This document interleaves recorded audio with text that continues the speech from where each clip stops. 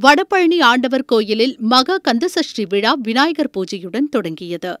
கந்தசஷ்டி விழாவை முன்னிட்டு திங்கள் முதல் லட்சர்ச்சனை நடந்து வருகிறது. செவ்வாயன்று இரண்டாவது நாளாக லட்சர்ச்சனை நடந்தது.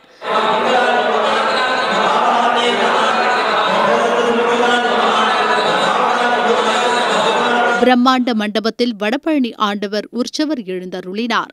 உற்சவருக்கு சிறப்பு தீபாராதனைகள் காட்டப்பட்டது.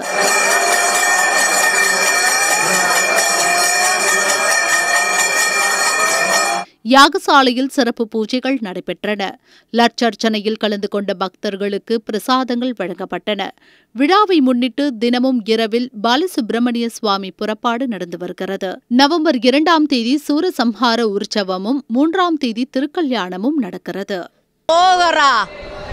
கந்த சஷ்டி விழா மிக சிறப்பாக நடைபெற்று வருகிறது. இன்று செவ்வாய்க்கிழமையினால் கூட்டங்கள் அலைமோதுகின்றன.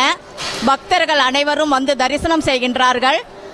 அழகாக அனைவருக்கும் எந்த சிரமம் இல்லாமல் லயனாக நின்று தரிசனம் பண்ணுவதற்கு வழிவகுத்து கொண்டு இருக்கிறார்கள் எல்லோரும் அல்- நன்றாக சேவித்து முருகனின் அருளில் பெற்று அன்பாக இருக்க வேண்டும். வடபழனி ஆண்டவர் ஆலயத்தில் மிக அழகாக லட்சத்தினை நடத்துகிறார்கள்.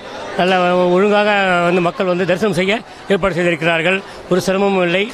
மக்கள் வந்து பக்தி பரவத்தோடு முருகனை கண்டு அவர் ஆசீர்வாத அவர் அருளையும் அவருடைய இதுவும் பெற்று சிறப்பாக வாழ வழி வழி செய்கிறார்கள். சஷ்டி ஆரம்பித்து ரெண்டாவது நாள் வடபழனி முருகன் கோயிலுக்கு வந்தோம் அந்த லட்சார்ச்சனையில் கலந்துக்கிட்டோம். இது அர்ச்சனைலாம் பண்ணாங்க. நல்லா இருந்துச்சு. சாமி தரிசனம் நல்லா பண்ணோம்.